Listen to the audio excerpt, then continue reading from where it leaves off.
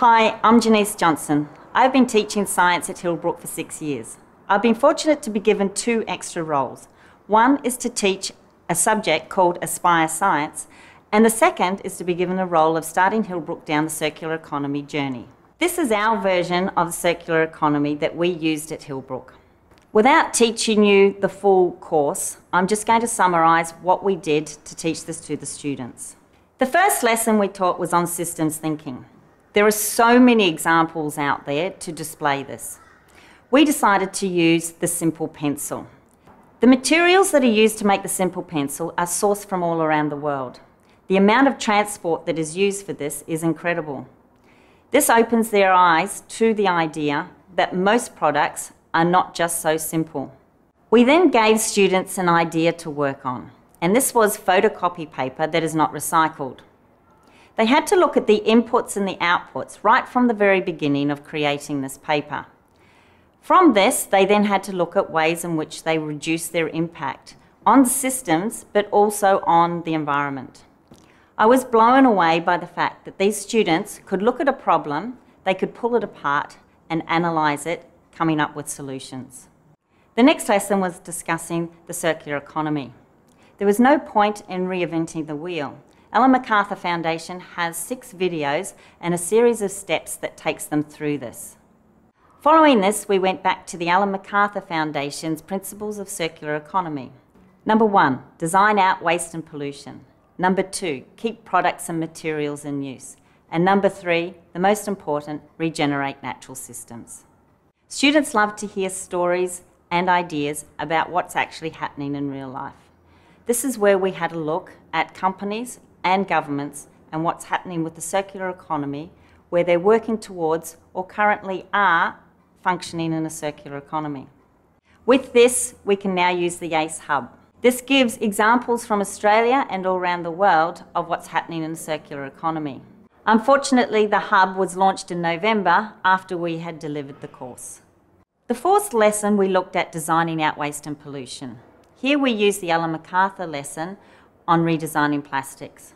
I wanted a real world example for these kids to solve. So what I did was look around the school to find a waste in which they could redesign.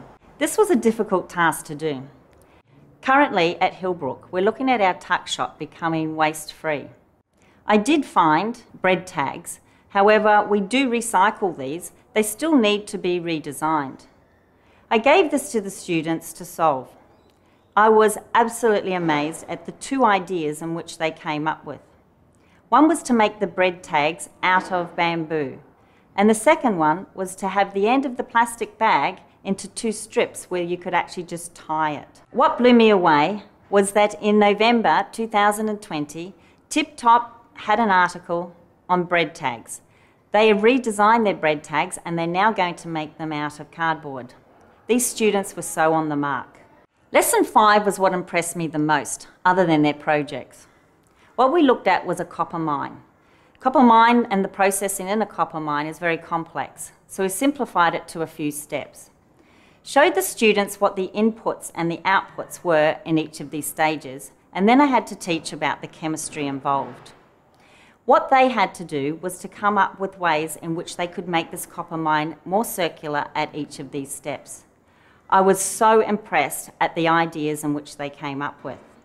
I'm not an expert in this area, however, I do see that some of their ideas were just on the mark. The last lesson, what we looked at, was showing how you can display circular economy ideas. This is using such things as Sankey diagrams, stock and flow diagrams, and radar matrices. What we did next was to give them some ideas on solving the project problem. This problem was to propose or produce something that would make Hillbrook more circular. I'm now going to talk about some of the projects in which these students did. We've been doing a lot of building work here at Hillbrook. In 2020, at the beginning of the year, one of the buildings was completed. This building had a dark grey roof. During the year, there was another building being constructed.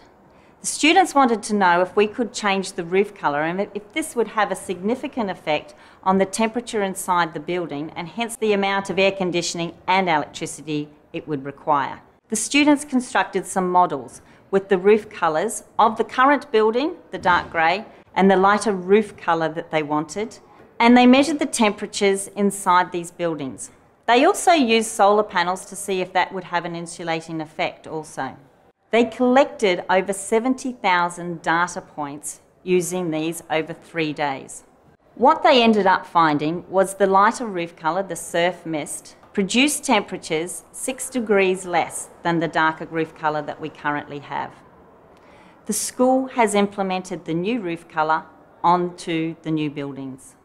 In this photo, you'll see in the foreground the original colour of the roof, and in the background, you will see the new roof, which has that new colour that the students chose.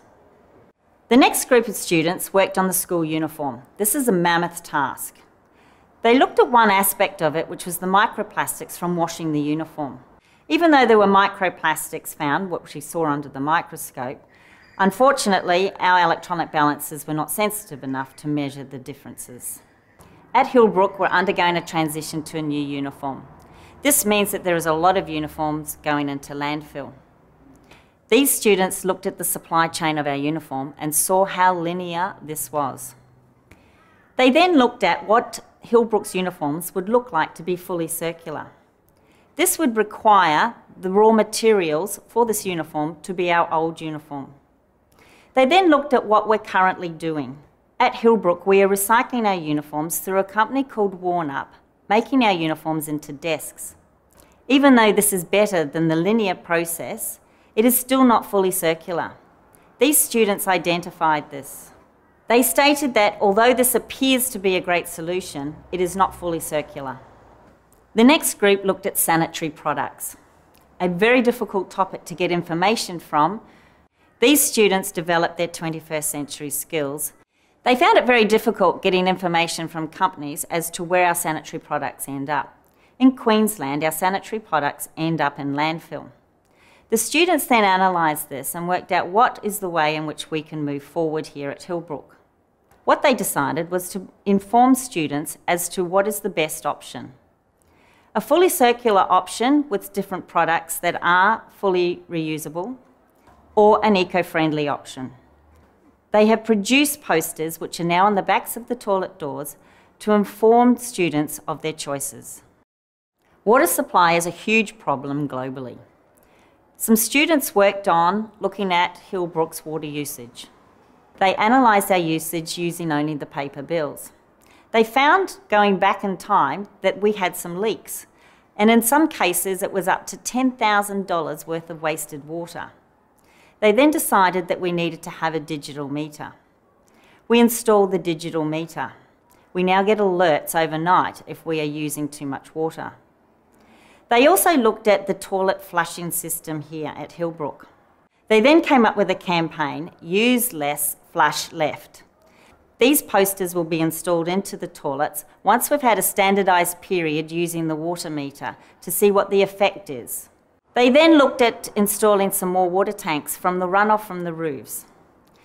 Looking at both of these particular areas, they worked out they could save water at the school from approximately 140,000 litres a year. A group worked on the viability of getting an anaerobic digester at Hillbrook. First of all, they had to analyse the compost and food waste that we produce here. The students and their teachers had a lovely time analysing the school's food waste for a whole week. Once this was sorted, they found out that 80% of our compost was food waste by mass. The other 20% was from compostable packaging from our tuck shop. This then provided the basis of the raw material for their anaerobic digester, the food waste. They then designed a biodigester with the idea of connecting this up to a barbecue.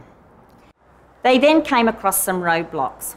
The biggest roadblock was that if Hillbrook set up this device, it would cost them $5,000 a year to set up for the petroleum production licence. They then spoke to Trevor Evans and also wrote a letter to him and to the Queensland Environment Minister saying that this act needs to change.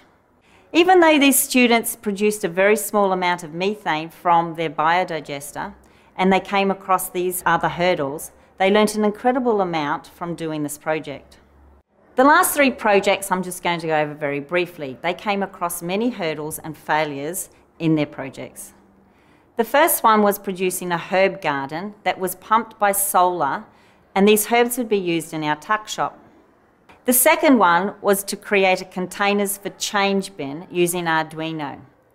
They were hoping that students would be able to scan these containers and it would be charged back onto their student card. The last one was to produce a weather station for Hillbrook using Raspberry Pi, and then a data dashboard for the circular economy. Even though the project was completed, we're now waiting for Hillbrook to get the final lot of solar panels installed. What a journey we have been on here at Hillbrook, not only for the students and teachers, but the whole Hillbrook community. So these students have not only learnt 21st century skills, they've learnt how to deal with failures and hurdles along the way. They've looked at the problems of a linear economy and developed solutions to make it circular. These students, like all students globally, have the ability to change our current linear economy into a regenerative circular one.